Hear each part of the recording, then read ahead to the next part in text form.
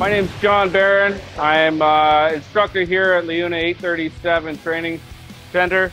Um, right now we're running a demolition, cutting and burning course. You guys are learning how to use uh, acetylene and propane in uh, practical applications where they're cutting uh, bolts and through I-beams, the different uh, thicknesses of steel, uh, preparing for uh, a large demolition job.